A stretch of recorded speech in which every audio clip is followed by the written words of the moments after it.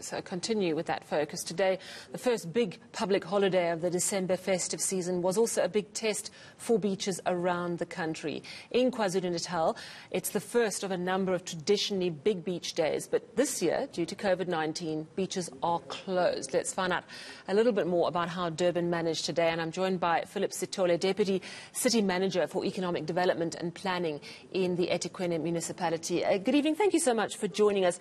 So, Philip, are you happy with how the beach closure worked today? Were there any problems at all?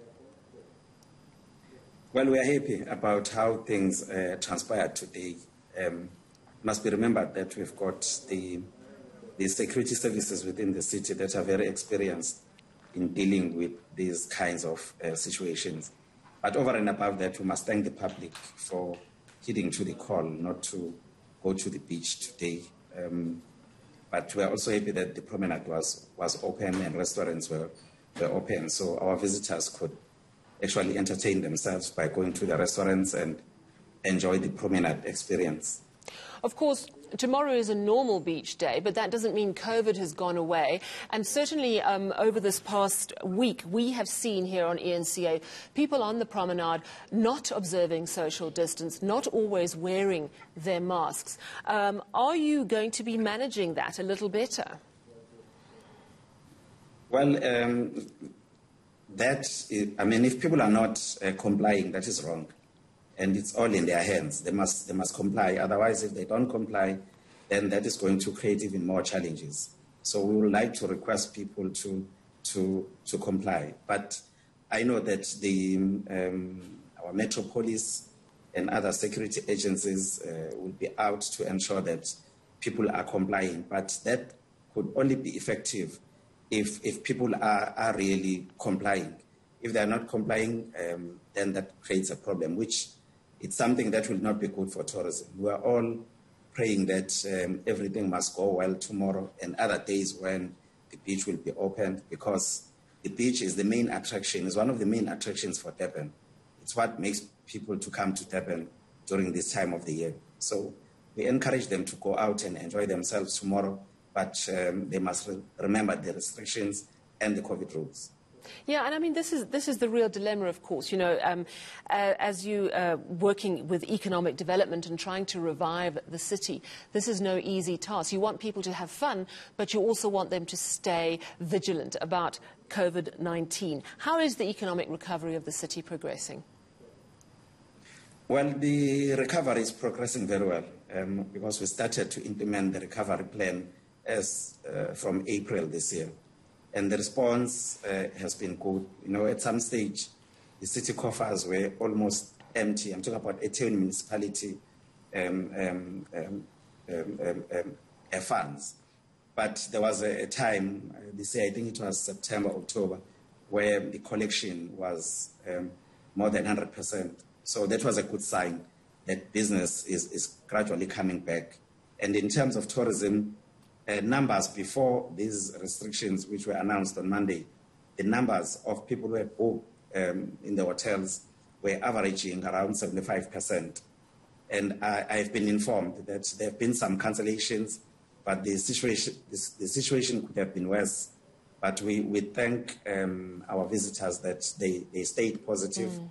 and, and numbers um, will improve. Uh, we, we are certain about the fact that numbers will improve. But I must say that we were expecting more than a million visitors before COVID, and now we're anticipating that visitors will be around 500,000 to 600,000 with a direct spend of 1.3 billion. Right, and, and, of course it's not just health concerns, it's also uh, the fact that people just have less money to spend this year. Um, I spoke yes. uh, yesterday to a number of, uh, of health people, and I spoke to Netcare, the private healthcare group, and they flagged mm. their extreme concern about COVID-19 numbers sharply on the rise in KwaZulu-Natal. We know it's not as bad as the Eastern and Western Cape yet, but they are saying it is coming on really rapidly. Now, if that does start to spike in the next few days, that might risk your beaches and you may end up with closed beaches as well. Could you just update us on how concerned you are about what's going on with COVID-19 in, uh, in the metro specifically? We are very concerned about that and the tourism industry is concerned.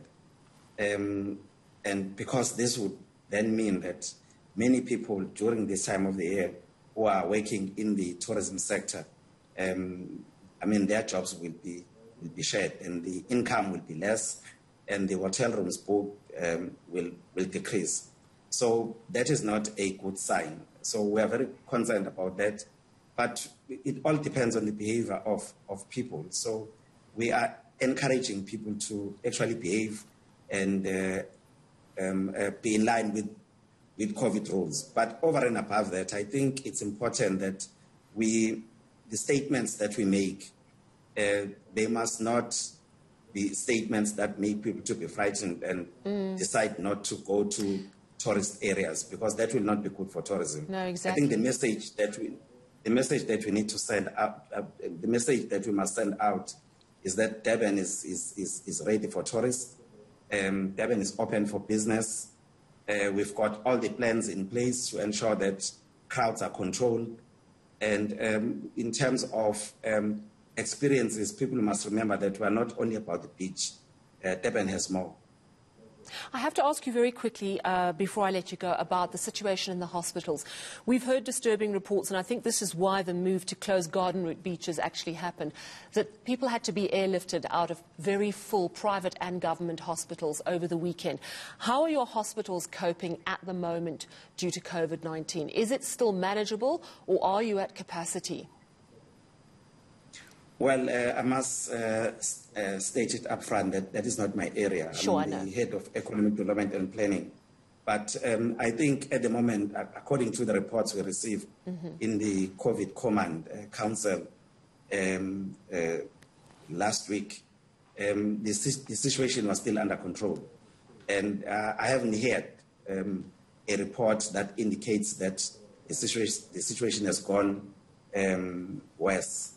Um, so, but I think health authorities are, are the ones who can give you full details about that. Mine is to encourage uh, people to say, besides the beach, uh, but people must know that the beach is only closed on certain dates, but on the other dates, the beach is open. They must come enjoy the beach, but they must be responsible. Besides the beach, there are many other experiences within Durban, many other products that they can enjoy.